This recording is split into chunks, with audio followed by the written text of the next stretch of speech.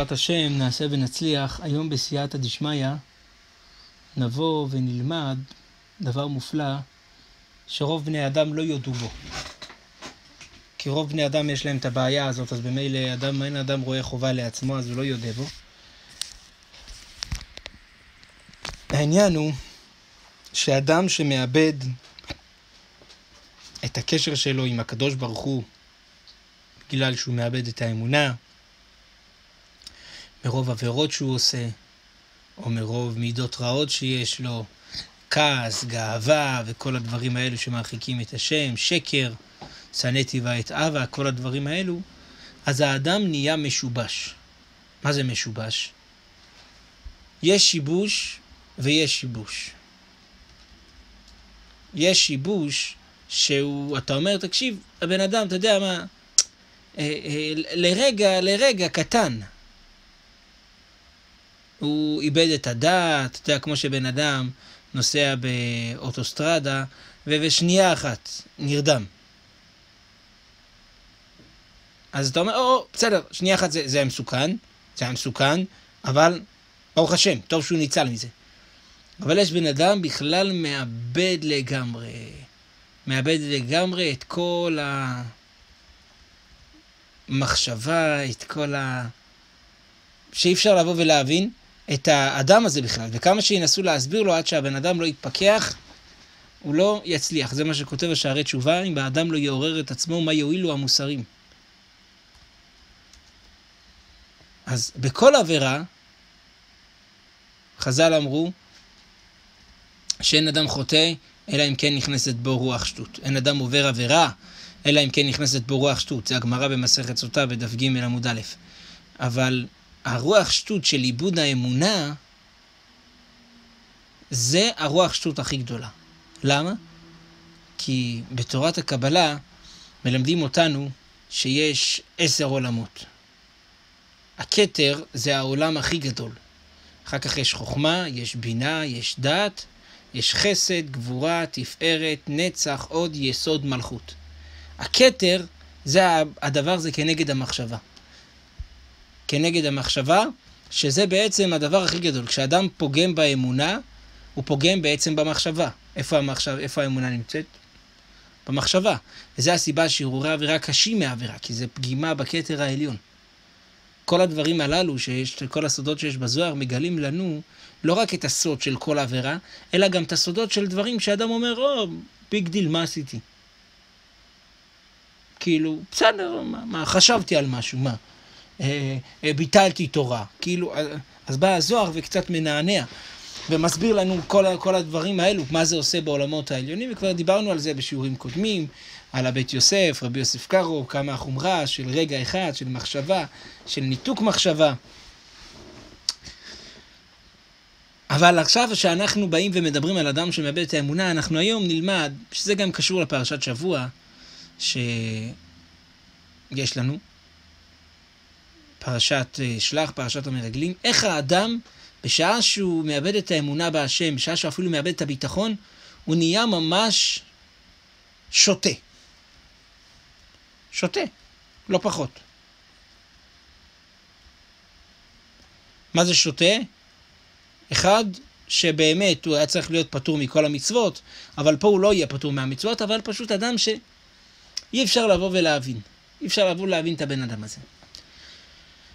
מי הכריז על עצמו שהוא הכי אוהב את עם ישראל? הקדוש ברוך הוא השתבח שמו לעד. הקדוש ברוך הוא בא ואומר בשם הנביא מלאכי, פרק א', פסוק ב', אהבתי אתכם אמר השם. עכשיו, אהבתי אתכם של אלוקים, זה לא אהבתי כמו שהיום, היום קוראים לתאווה אהבה. מה היה אומר החזון איש? מה שהחילונים קוראים לו אהבה, אצלנו זה כרת. אהבתי אתכם, אמר השם, הקדוש ברוך הוא השתבח שמו לעד, אומר, אני אוהב אתכם, עם ישראל. כמה פעמים עם ישראל נקראו בנים למקום. בנים אתם להשם אלוקיכם, בני בכורי ישראל. אז הקדוש ברוך הוא אוהב את עם ישראל עד אין חקר, עד אין קץ, עד אין סוף. מי השונא הכי גדול? מי השונא הכי גדול? שהוא בא ובעצם קיבל את התואר שונא. בזה, עוד לפני שאנחנו בכלל בודקים בחז"ל, אנחנו יודעים שאחד שרוצה להרוג את האדם, הוא ודאי השונא שלו. אחד שרוצה לכלות אותו, אחד שרוצה לבוא ולהשמיד אותו ולהרע לו, הוא השונא הכי גדול של האדם. אומרת הגמרא במסכת סוכה בדף נ"ב עמוד א', דרש רבי אבירא ואיתמר רבי יהושע בן לוי שבעה שמות יש לו ליצר הרע. אנחנו לא נדבר עכשיו על כל השבעה שמות, נלך על השם ששלמה המלך בא וקרא. שלמה קראו שונא, שנאמר, אם רעב שונאך אכילהו לחם, ואם צמא השקהו מים, כי גחלים אתה חוטא על ראשו. מה זה הלחם? לחמה של תורה, מה זה המים? אין מים אלא תורה, וזה מה שיבוא ויגרום לו. לבוא ולהכניע אותו. מה שהגמרא אומרת שם, גם בסוכה שם, באותו דף, וגם בקידושין דף ל עמוד ב', שיצר הרע אם אדם מושך אותו לבית המדרש, עם אבן הוא נימוח, עם ברזל הוא מתפוצץ. ועכשיו, השאלה הפשוטה, האם צריך להיות חכם כדי להבין שאלוקים אוהב את עם ישראל? והשטן והיצר הרע שונא את עם ישראל. צריך להיות חכם, צריך להיות גאון, צריך להיות אה, הרשב"א, הרמב"ן, הרמב"ם, צריך להיות נביא, או שפשוט אדם בא ורואה בכתובים, בוודאי שלא לא צריך להיות דור דעה. מה זה דור דעה? אני אמרתי אלוקים אתם ובני עליון כולכם. ככה אומר הנביא, הקדוש ברוך הוא אומר לעם ישראל, הייתי בטוח שכולכם נהפכים למלאכים. אכן כאדם תמותונו כאחד עשרים טיפולו שחטאו בחטא העגל. זאת אומרת, הם זכו להגיע לדרגה של נבואה שאין למעלה ממנה. אין לנו הבנה מה זה נביא. אמרנו, אני אמרתי כמה פעמים, אני, העולם המושגים שלי מסתיים ברב עובדיה. אפילו את הרב עובדיה אי אפשר להבין, וממילא עכשיו, כמה שהם יותר גדולים אחר כך, זה לא יעזור לך, אתה לא יכול לקלוט. אז להבין מה זה מושג של נביא אי אפשר. וחז"ל אומרים, ראתה שפחה על הים, מה שלא ראה יחזקאל בן בוזי. זאת אומרת, הנביא יחזקאל, כל הסודות של החשמל והמלאכים והשם ירחם, כל מיני דברים אבילים ו... ו... ו... ו... שפחה, שפחה. זאת אומרת, אפילו היא... לא העם הנבחר. אז הם זכו לדרגה מאוד מאוד גבוהה. אז הם בוודאי היו והכירו וחשבו והבינו לעומק, לעומק, לעומק שהקדוש ברוך הוא אוהב אותם.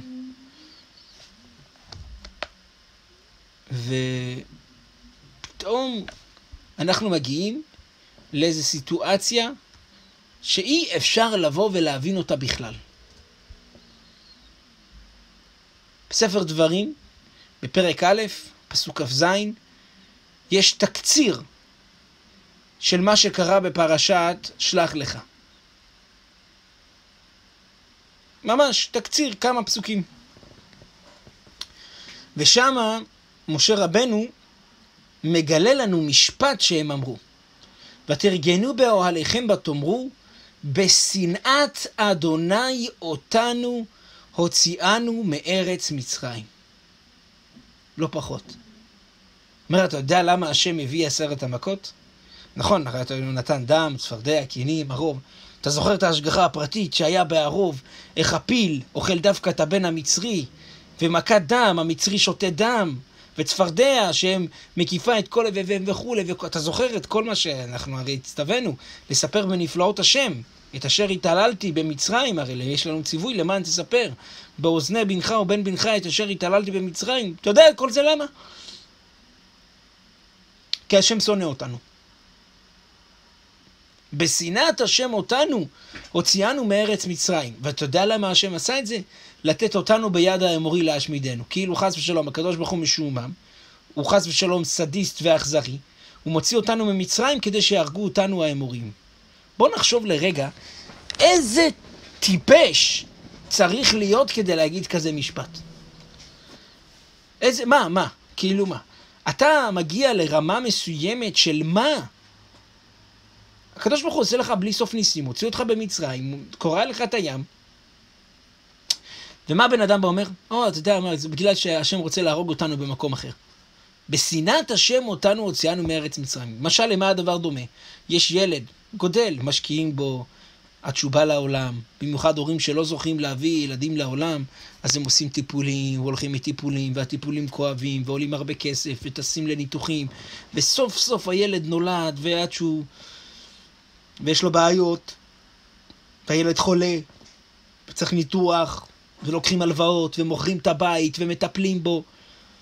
והילד גודל, וסוף סוף עד שהוא אומר אבא יוצא הנשמה, וכשהוא אומר האמא יוצא הנשמה השנייה, והוא גודל, ופתאום מגלים הילד רגיש לסוכר, ורגיש למלח, ורגיש לקמח, ורגיש לבוטנים, ורגיש לסומסום, והם שומרים עליו ושומרים עליו, ואז בגיל 18, הוא אומר להורים שלו, אבא ואמא, אני יודע שלקח לכם הרבה שנים להביא אותי, אבל אני יודע למה רציתם להביא אותי לעולם.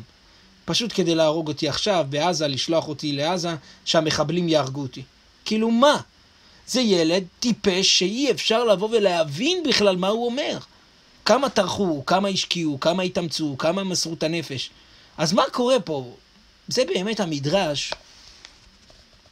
רבא, פרשת שלח לך, פרק, פרשה י"ז, סימן ג', מתפלא מאוד ואומר, ותרגנו באוהליכם ותאמרו בשנאת השם אותנו. הקדוש ברוך הוא אמר, אהבתי אתכם, והם אומרים בשנאת השם אותנו? מה ההיגיון? תסביר לי, משתגע, מה ההיגיון שאתה אומר בשנאת השם אותנו? תסביר, אתה יודע מה, בסדר, אני, אני שומע מה אתה אומר. אתה אומר שהשם שונא אותך, רק תסביר לי למה, תן לי ראייה. והם מביאים ראייה, לא להאמין, כאילו כבר עדיף שלא היו אומרים את הראייה. מה הראייה? כן? דורשים ואומרים. הם באו וכל אחד נהיה דרשן, כל אחד נהיה מרצה. תדע לך שהוא שונא אותנו, יש לנו ראייה שהשם שונא אותנו. מלך בשר ודם, יש לו שני בנים, ויש לו שתי שדות. אחת של שוקה ואחת של בעל. לא למי שהמלך אוהב נותן של שוקי, ולעוטה ששונא הוא נותן של בעל. מה זה שדה שוקה ומה זה שדה בעל? שדה שוקה זה שדה שלחים, שצריך להשקיע אותה, להביא ולסחוב דליים וכולי. שדה בעל, שהגשמים משקים אותה. אז המלך יש לו שתי בנים ויש לו שתי שדות. למי הוא נותן את השדה שלא צריך לטרוח בה? לא צריך לטרוח בה. אז אם יש שדה שאפשר להביא ממנה מים ממקום קרוב, היא הרבה יותר עדיפה מאשר להביא איזה שדה שהיא תלויה בגשם. כי גשם כן ירד, לא ירד, אבל שדה שהיא קרובה למקור מים תמידי היא יותר שווה. וזה מה שהם אומרים לו, הרי ארץ מצרים היא שדה של שוקה. למה? כי יש שם את הנילוס. ואנחנו היינו כבר בתוכה, וארץ כנען זה של בעל, זה תלוי בגשמים. למטר השמיים תשתה מים. אז מה אלוקים בא? לוקח אותנו ממצרים, הארץ הטובה הזאת, ששם השדות, משקים אותם בנילוס, כדי שנקבל ארץ שיש בה גשם. זאת אומרת, זה הראייה המפוצצת שיש להם שהשם שונא אותם. כדי לבוא ולהבין, אנחנו נמשיך במשל. שואלים את הילד, תגיד לי, למה אבא ואימא שלך לא אוהבים אותך? אתה חושב שהם רוצים לשלוח אותך לעזה שתמות שם ותתפוצץ ויראו בך? למה? אחרי כל מה שהם עשו, אומר לו, אבא, אתה יודע למה? כי פעם אחת ביקשתי ממך איזה סנדוויץ' שוקולד. ואתה קנית לי את השוקולד הזול. נתת לי את הסנדוויץ', כן, אני זוכר. אבל יש נוטלה, איזה שוקולד של, שעולה 11 שקל חבילה, אתה נתת לי את החמש, אתה קנית את השוקולד של החמש. זה סימן שאתה שונא אותי ואתה רוצה שאני אמות. זה, זה עוזר, ההסבר שלו? כבר עדיף שלא היית מדבר. עדיף שלא היית מדבר. הם לא אומרים שאלוקים לא נת... נתן לנו ארץ, אבל בגלל שהוא נתן לנו פחות, מה ההבנה בזה? מה ההבנה בזה? ולאן הם הולכים? לאן הם הולכים? הם הולכים לסטרא אחרא. הם עוזבים את הקדוש ברוך הוא והולכים לכוח הטומאה והשם ירחם. מה זה כוח הטומאה? גם זה יש לנו במדרש רבה בפרשה, בפרשה ט"ז בסימן כ"ה. משה רבנו מנסה להרגיע כביכול את מידת הדין. ואומר לקדוש ברוך הוא שמעו כי אתה השם בקרב העם הזה והעמדת את העם הזה כאיש אחד, מה אתה ריבונו של עולם רוצה לבוא ולהרוג את כולם, בסדר, עם ישראל חטא, הוא מנסה, מנסה, מנסה, מנסה. מה הוא אומר? אומר משה רבנו לקדוש ברוך הוא, אומר המדרש, דבר אחר. שלא יאמרו אומות העולם נוהגים בך כאכזרי. לומר, בא דור המבול ואיבדם, בא דור הפלגה ובאו סדומים, ובאו מצרים ואיבדם. אף אלו שקראן בני בכורי, הרי הוא מכלה אותם כלילית הזו, שאינה מוצא כלום והיא הופכת על בניה. כך מבלתי יכולת השם.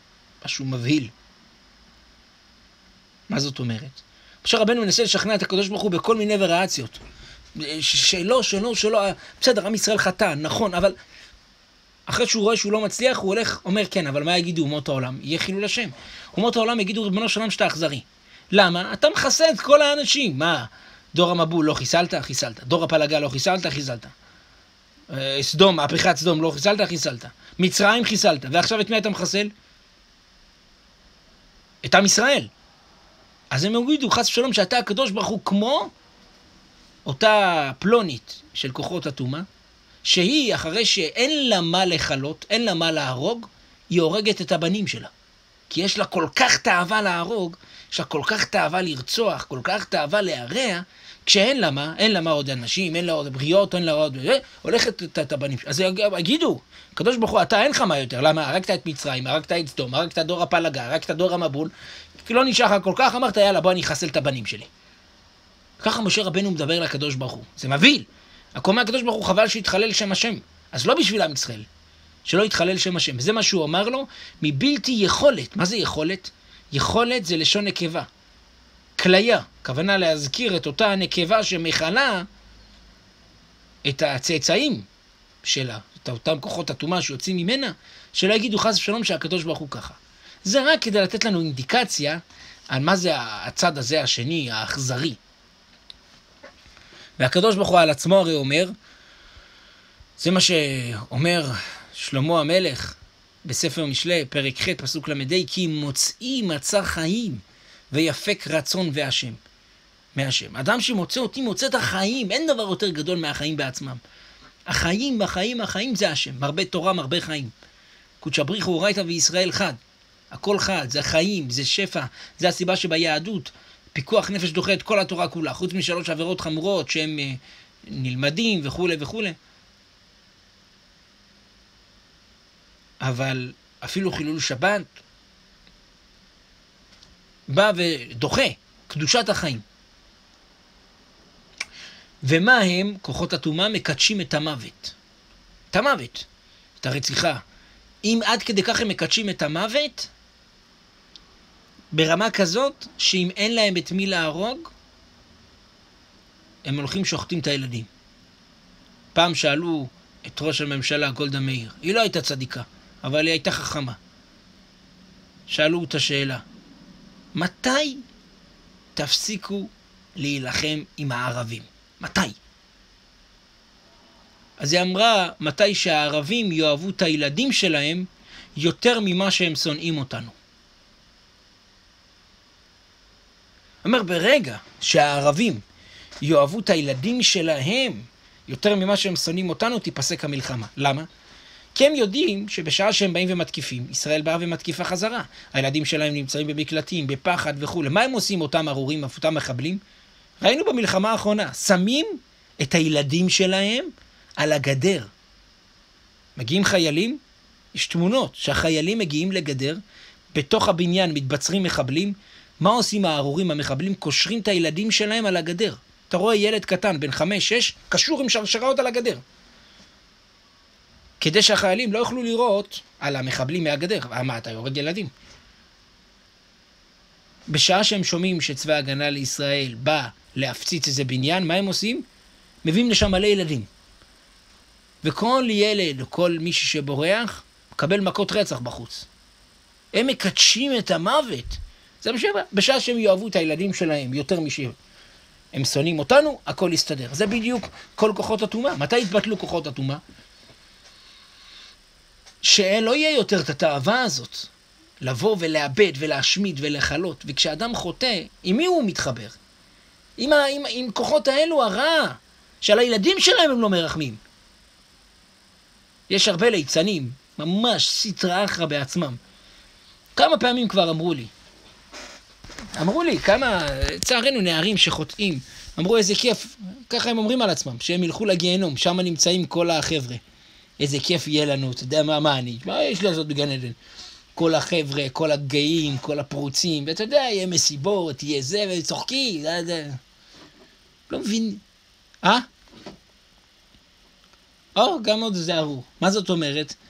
כשבן אדם לא מבין את, ה, את האיסורים ואת הכאב שאי אפשר להבין בכלל, מה זה לא משהו אנושי בכלל, עד כדי כך שכוחות הטומאה יש להם כל כך תאווה להזיק יותר מתאווה אנושית, ש, שאנחנו מבינים, כל בן אדם, איך הוא דואג לבנים שלו, למש, למשפחה וכולי וכולי, אז אתה, בן אדם, בא, כורת ברית את מוות.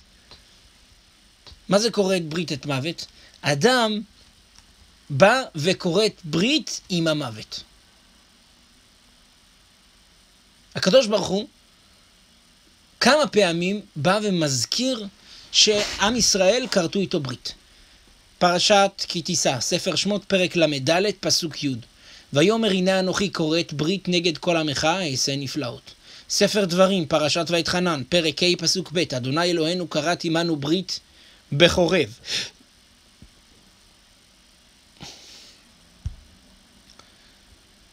ויש עוד כמה פעמים שבאו וכרתו ברית עם הקדוש ברוך הוא, והכריתת ברית הזאת, מה הייתה בעצם? לבוא ולקיים תורה ומצוות. לבוא ולקיים. זה היה ברית מילה, זה ברית הדמים, זה היה ברית בין הבתרים. כל הדברים הללו, זאת אומרת, אנחנו בוחרים בחיים. אומר הנביא ישעיה בפרק כ"ח, פסוקים י"ד ט"ו. לכן שימו דבר אדוני אנשי לצון מושלי העם הזה אשר בירושלים. מה זה אנשי לצון? זה מה שאמרנו, אנשים צוחקים איתך, מתלוצצים, או, גיהנום, או, צחוקים, אתה יודע איזה קטעים יש שם, כל המסיבות שם. זה אנשי לצון. כי אמרתם, כרתנו ברית את מוות, ועם שאול עשינו חוזה. מי זה שאול? שאול זה הגיהנום, השם ירחם. כן, מתאים, כן, כן. כרתנו ברית את מוות. אמרתם בלעג, כורתים ברית עם המוות, אל תדאג, אין לך מה לפחד, עזוב אותך, כי שם הנביא כל הזמן היה אומר להם, תיזהרו וכולי וכולי, תיזהרו שלא תבואו. שוט שוטף כי יעבור. הכוונה, השם מרחם, תהיה מכה מהלכת. לא יבואנו, אנחנו, אין לנו חשש. כי שמנו כזב מחסנו, בשקר נסתרנו. במה אתם בוטחים? במה אתם בוטחים? בשקר? בכזב? והם אומרים, אנחנו נסתדר עם השקר והכזב, אל תדאג. הם מתלוצצים.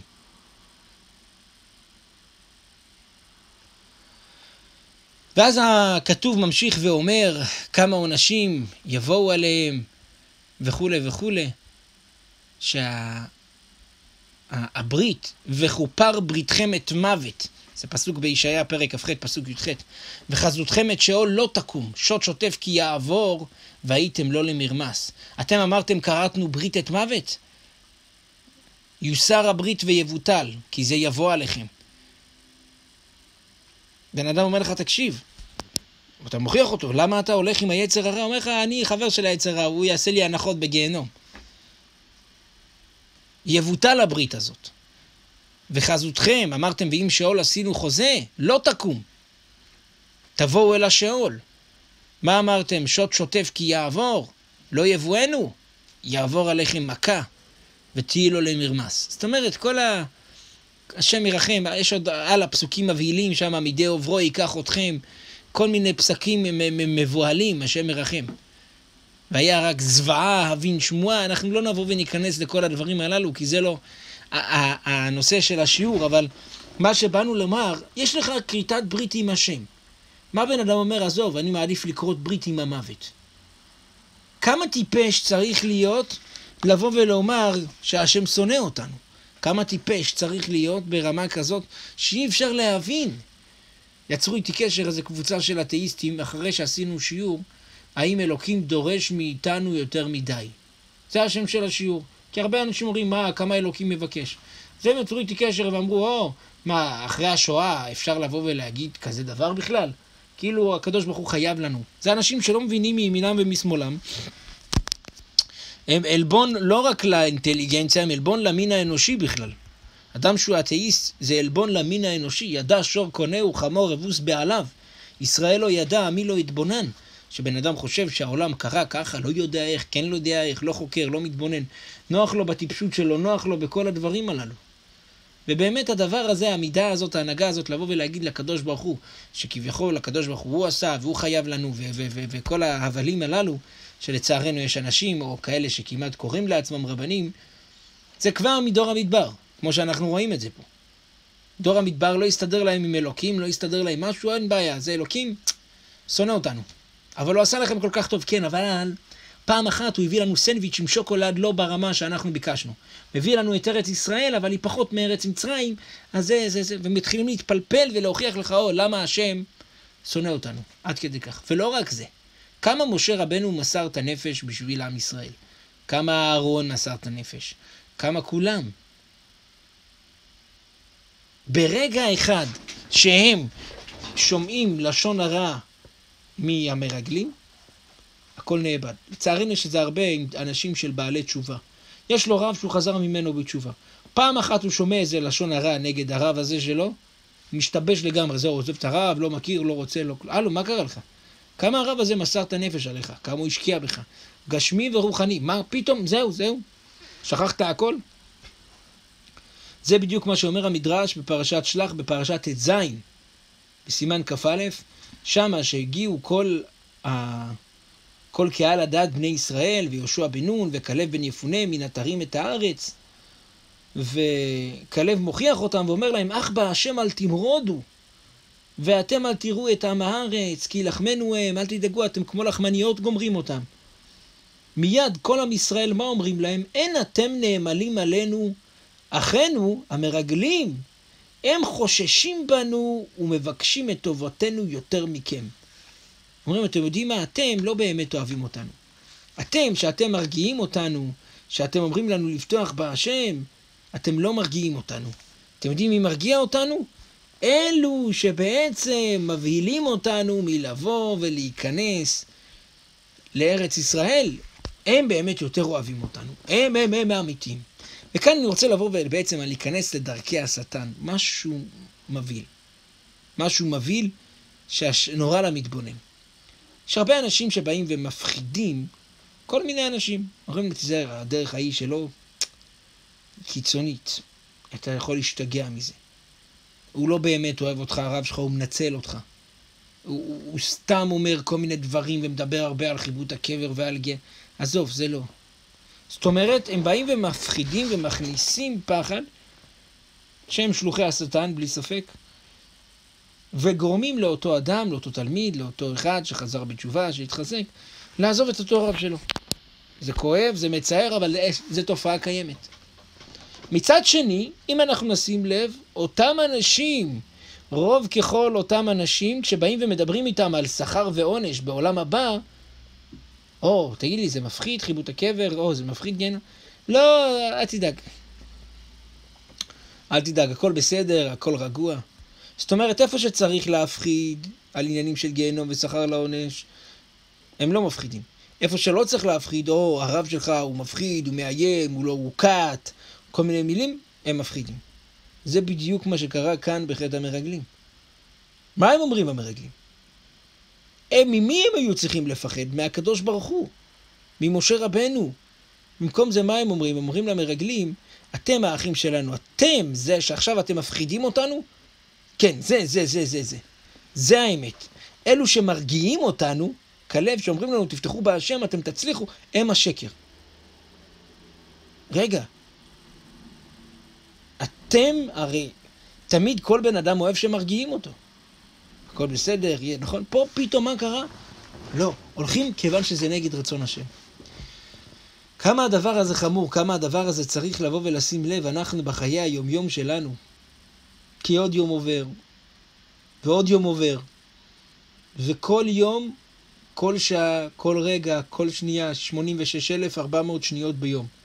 כל שנייה אתה בוחר האם לכרות ברית את מוות, או אם קראתי ברית איתכם נאום השם. כל רגע. איך האדם בוחר? באותו רגע, באותה שנייה. ואם האדם זוכה לבוא ולמלות, כמו אברהם אבינו, ואברהם זקן בא בימים והשם ברך את אברהם בכל. מה זה בא בימים? הוא הגיע עם כל הימים שלו המלאים. מה עשית בד' בשבט בשנת כך וכך? הוא יודע. בשעה שלוש, יודע. בשעה ארבע. מי יודע? מי מגיע לדרגה הזאת? אבל הכוונה לפחות שכשאנחנו כן שמים לב, כן נבוא ונעשה ונשתדל להוכיח לקדוש ברוך הוא את הכריתת ברית. להוכיח לקדוש ברוך הוא את הקשר המופלא שהוא רוצה בקשר הזה עם עם ישראל, שעם ישראל בתוך תוכם בוודאי רוצים, כמו שהרמב"ם כותב בהלכות גירושין, שכופים אותו עד שהוא אמר רוצה אני, כופין, כופין, מה, הנפש הישראלית, הנשמה הישראלית ודאי רוצה. וזה בעצם, הכופין הזה, זה בעצם כדי להציל אותו מהכרתנו ברית את מוות. להציל אותו מהדברים הללו שלצערנו האדם כורת ברית עימה, עם התאוות שלו, עם פגם הברית, עם הכסף שלו, עם הנשים, עם הפלייסטיישן, עם החילולי שבת, עם הגאווה שלו ועם הנוחיות שלו. מה זה נוחיות? מה שלא נוח לי אל תעשה. אתה אומר לו, כן, תבוא, תלך, תס... לא נוח לי, לא נוח לי, לא נוח לי, עזוב. תבוא לשיעור, עזוב. אנחנו נסיים באיזה מילתא דבדיחותא שיש בה מוסר השכל. היה רב אחד שרצה שאחד מאנשי הבית הכנסת יבוא לשיעור. טוב. הוא פגש אותו בשבת, הוא אומר, תקשיב, כל יום שלישי יש פה שיעור. תבוא לבית כנסת, תבוא לשיעור. אומר לו הרב, שבוע הבא אני בא. טוב. שבוע הבא לא בא. עוד פעם הוא רואה אותו בשבת, הוא אומר לו, חיכיתי לך, למה לא באת? אומר לו הרב, לא נעים לספר, יש לי רק חולצה אחת. איך שבאתי לצאת מהבית, התלכלכה לי החולצה, לא יכלתי לבוא. קיבסתי אותה, תליתי אותה, עד שהתייבשה, נגמר השיעור. אמר לו, טוב, בסדר. שבוע הבא אתה בא לשיעור? אמר לו, כן, שבוע הבא אני בא. שבוע הבא לא בא. פוגש אותו בשבת עוד פעם, אומר לו, מה? מה קרה? אומר לו, הרב, לא נעים לי לספר לך, יש לי רק מכנסיים אחד. איך שבאתי לצאת לשיעור, התלכלך המכנסיים. מה, אני אבוא בלי מכנסיים לשיעור? כיבסתי אותו, תליתי אותו, עד שהתייבש, נגמר השיעור. טוב, אומר לו, תקשיב, תקשיב. חולצה יש לך? כן. מכנסיים יש לך? כן. נעליים, גרביים, כפפות, צעיף, אוזני, הכל. שבוע הבא אתה בשיעור, תזכור. כן. שבוע הבא לא בא. פוגש אותו בשבת, אומר לו, מה? אומר לו, הרב, התלבשתי, יצאתי, חולצה, כן, מכנסיים, כן, הכל, אפילו כיפה שמתי, כן. נו, למה לא היית בשיעור? אומר, עברתי דרך הבית של הרב, ראיתי על הכביסה, על החבל כביסה יש שם גם את המכנסיים של הרב, גם את החולצה של הרב. אמרתי, בטוח הרב לא יבוא היום. למה? תירוצים. זה מה שאומר שלמה המלך, אמר הצל שחל בדרך, ארי בין הרחובות. אתה אומר לו, למה אתה לא בא לשיעור? או, יש אריה מסתובב ברחובות, יש אה, אסונות, יש פיגועים, יש בעיה. אתה אומר לו, איך מה קשור? לא, לא, יש בין הרחובות, יש משהו, עזוב, לא רוצה. כל מיני תירוצים, או קורונה, או כל מיני עניינים וכל מיני דברים. ההסבר היחיד זה הנוחות שלו, זה העצלנות שלו. אז הוא יהיה מוכן לבוא ולהגיד, או הרב עכשיו לא יבוא בלי בגדים, או אני אתלכלכו לי הבגדים, וכל מיני תירוצים. ועל הכל יביא האלוקים במשפט. הרי אם היו מחלקים דולרים, לא היית... היית מגיע ראשון. וזה מה שכל אחד צריך לדעת, ויהי רצון שנזכה לקדש שם שמיים ולעשות רצון השם כרצונו, אמן.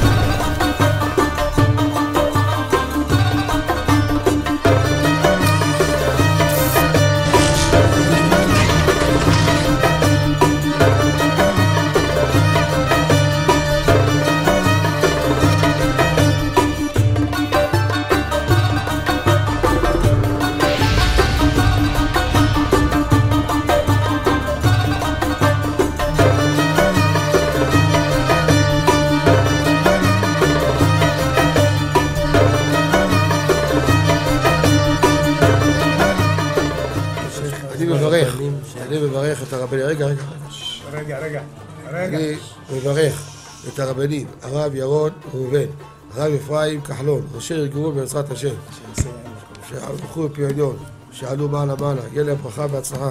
הקדוש ברוך הוא ימלא בישונות ליבם לטובה ולברכה. שבכל אשר יפנו, ישכילו ויצליחו. יזכו עוד לעשות כאלה וכאלה. הודיעו תורה לאדירה, אמן ואמן.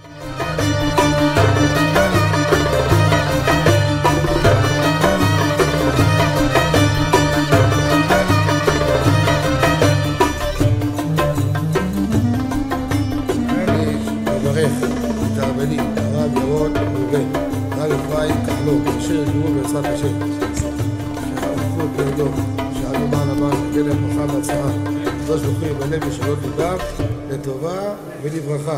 שבכל אשר יפנו, ישכילו ויצליחו. עוד לעשות כאלה וכאלה. הודיעו תורה לאדירה, אמן ואמן.